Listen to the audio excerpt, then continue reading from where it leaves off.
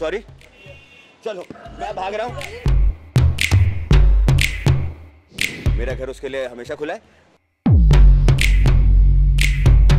तो मैं सलमान सर को बहुत मिस करता हूँ। मैं जेन्यूनली मिस करता हूँ। आप बताओ क्या कुछ है सरप्राइज़ आपकी तरफ़ से? सरप्राइज़ मेरी तरफ़ से? हाँ।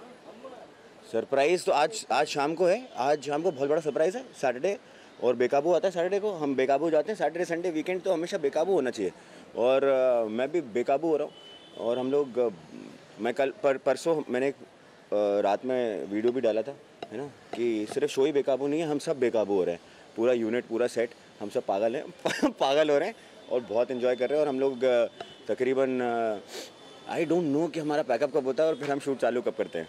बट इज़ ग्रेट फन साथ ही शालिन बेकाबू के बाद कितने अच्छे कमेंट्स लोगों के आ रहे हैं आपको उस रोल में देख के उस किरदार में देख के मैं आप मैं आपको सच बताऊँ ये बहुत ही मतलब मेरे लिए एम्बेरसिंग एक मैंने अभी पोस्ट देखा जहाँ पे ऐसा था कि ऐसा कंपेयर कर रहे थे कि कम, मतलब कपिल भैया के साथ में कि उनके शो से ज़्यादा टीआरपी आई है ऐसा है बिल्कुल मतलब उनका लेवल ही बहुत ऊपर है और ऐसा कुछ नहीं है कि अच्छा रिस्पॉन्स आ रहा है बहुत अच्छा है मैं उस चीज़ से लिए खुश हूँ है ना?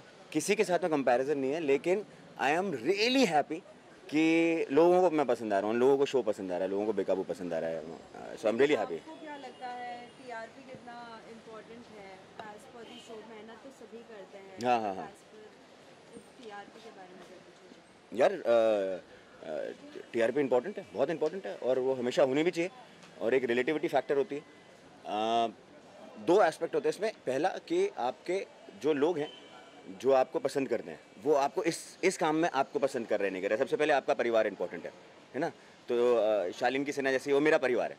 तो वो सबसे ज़्यादा इंपॉर्टेंट है कि वो क्या सोच, चाह रहे हैं? वो वो वो वो मुझे पसंद कर रहे हैं कि नहीं कर रहे हैं? उसके बाद में जो नेटवर्क है है ना? जो जो प्रोड्यूसर हैं, जो इतनी मेहनत, इतने पैसा लगाते हैं, है ना?